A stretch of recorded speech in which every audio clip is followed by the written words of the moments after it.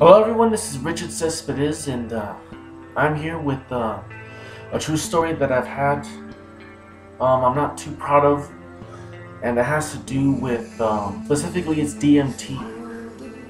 I uh, took uh, DMT just about maybe like two years ago and uh, this was be way before um, the third eye and the trans-dimensional, you know, experiences and uh, astral projection type of things and, you know, the experiences. I recently just, you know, like about a few months ago, I went online, I looked around and uh, Googled DMT and stuff like that. I didn't know nothing about it. You know, I didn't know nothing about uh, the history of it. That's what it is.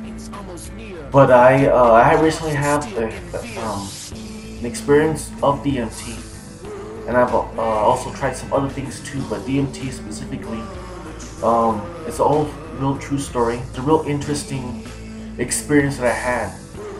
Um, a lot of people talk about uh, that they see strange things like uh, almost like perfectly symmetrical individuals, aliens, or glass-like uh, perfectly symmetrical people or whatever. You know, I, am just trying to get, get myself collected because uh, I had my experience with DMT and uh, it was uh, it was quite an experience. This is way before, like I said, way before I knew about of uh, you know third eye opening and how substances can help you uh, uh, do astral projections and other things like that, and experience and things like that communication with other beings of other universe. I took the, the the substance.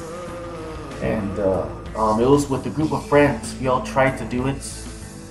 Um, it was on a weekend, and uh, we usually do some other things. We're drinking too, and uh, it was just lit at night. And my friend just surprised us with this stuff, and you know, we were all drunk, and we tried everything else.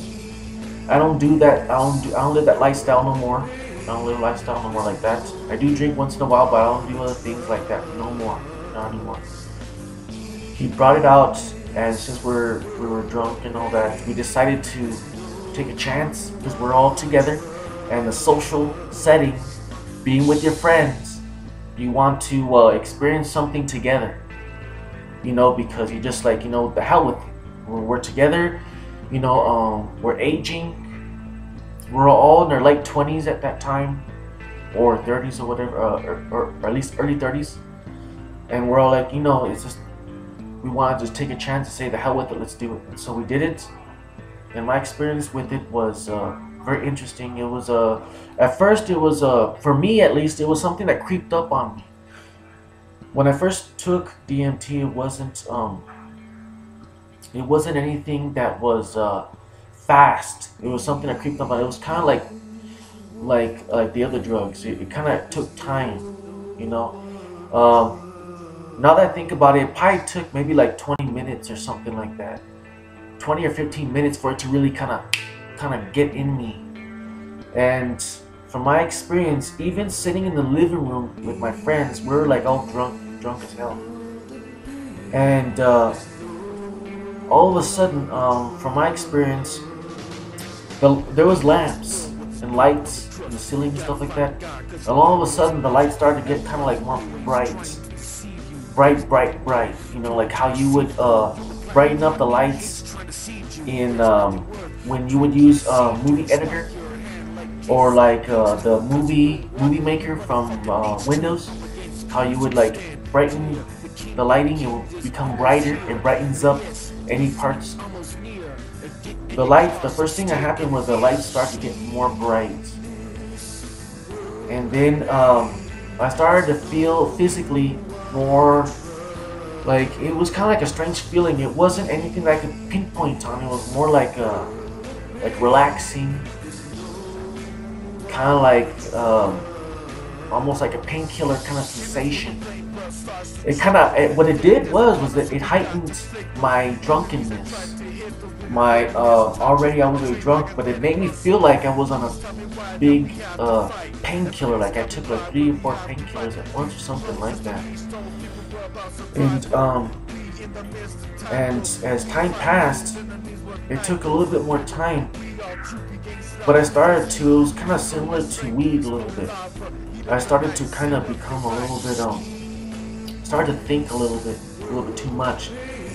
Um, slowly, um, the room, you know, the whole room was kind of like this room. It was all white. It was a living room, and the whole room started to kind of, uh, even though there was shadows and everything, and there was a TV set in front of us, we are sitting on a couch. It was a small room. The whole the whole thing started to kind of uh, the whole color scheme started to kind of become one. Like it was like you couldn't like it was all becoming white or something. Like it's hard to, you know, like there was color. The carpet was brown and all that, but for some reason, for me, the the white of the wall started to uh, consume my peripheral and my uh, primary vision, and it was just starting. It, it was starting to become uh, like all white or something. Like it was just like, like it, was basically almost like being blind, almost colorblind. And it was uh, very slow. And I didn't exactly have any visions of uh, entities, but I did because it was such such a long time. I did have uh, like a sense of like like there was some uh, the the TV set kind of seemed like it was like melting or something like that. It was becoming like uh, dematerializing or something. It was it was very very uh, I I wasn't scared because I think I was amongst my friends. But it was like melting, like anything that was a table or something, it kind of seemed like it was like softening, like it was bending or bowing. It was a very strange thing, like um, it seemed like almost everything that I was looking at, it was becoming softened, kind of like becoming more warped, or like more softer, like clay or something was hard, like wax or something like that. And, and, and the lighting again, it was more um, it was uh, it was still brightened. It was still very. It was becoming more magnified, and it was old light bulbs, so it was like a yellow, a bright yellow, and. Uh, Actually, uh, I think it was like, I don't know, 30, 35 minutes into the drug, I started to, uh, I started having trouble recognizing if my friends were there. It was almost as if like, like my friends were um, becoming invisible or something like that. It was a very strange experience. It was like, it was almost as if like my friends were, uh,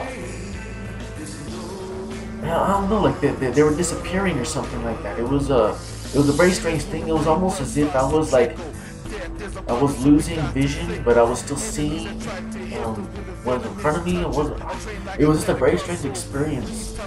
Uh, um, like other people on YouTube, you look at their videos and they say that they see entities and people or like strange things, but I didn't witness anything like that.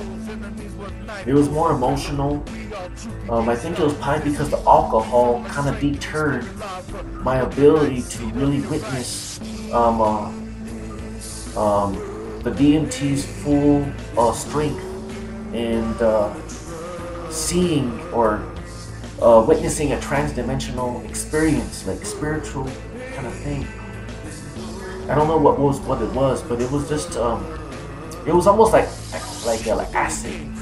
Almost for me, it was. I don't know how it was for everyone. For everyone else, but the thing is, those that had to say that DMT is not something that I recommend anyone do. It is it is just as bad as uh, as all of the drugs. It's just as bad as crystal and all the other crystal meth and, and acid and all the other stuff. Don't don't take it, man. Um, now that I look back on it, I kind of feel like it was very strange because I didn't exactly trip. I didn't have a bad trip. Uh, it was like I was amongst my friends. They were they were there, but they weren't there. They're becoming invisible or whatever. But like uh, I was relaxed and I, I just knew how to handle it basically because back then, uh, two years ago, we were hanging out all the time, drinking and doing drugs all the time and that's that was my lifestyle. So I was able to handle um, those experiences better because we're doing it every weekend.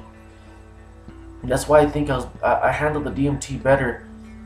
But that was my experience with DMT, But uh, now that I uh, uh, I've learned about psychokinesis and other things like that, you don't need to do DMT to do to witness spirituality or to uh, astral project yourself and travel through dimensions of space and time. You need to meditate and get into the zone of yourself. Because you are your own manipulation. You are your own manipulator. You know, you have the power to do to do anything you want to do. Drugs are just a placebo.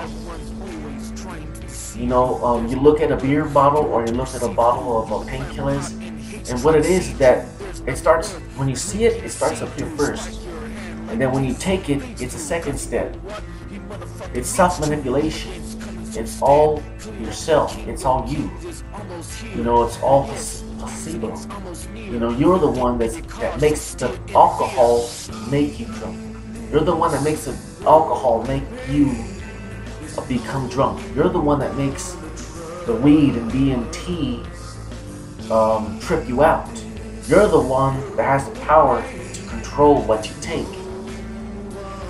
And uh, and we have the power to astral project without taking any substances. We have the power to do that. We don't need to take drugs.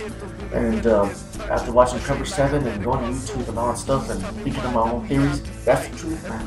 That's the truth. You, you don't need to take drugs to be able to trip out and see different things. Life is mundane. Life is very straightforward. It's boring. Boring sometimes. But that's that's just the way it is. And life will get better. You will get better. And uh, life will be more interesting and more fun. Believe me, telekinesis, will take us there, man. We don't need to take any substances or alcohol, nothing like that. In the future, we need to do nothing like this. Nothing but oranges and carrying crystals. And that, that was my DMT experience. I'm sorry if it wasn't interesting enough. But, uh, you know, man, just hang in there, have faith, the world will change, things will get better, life will be better. And I think that things will get better in the four, uh, four years. Things will get better, definitely.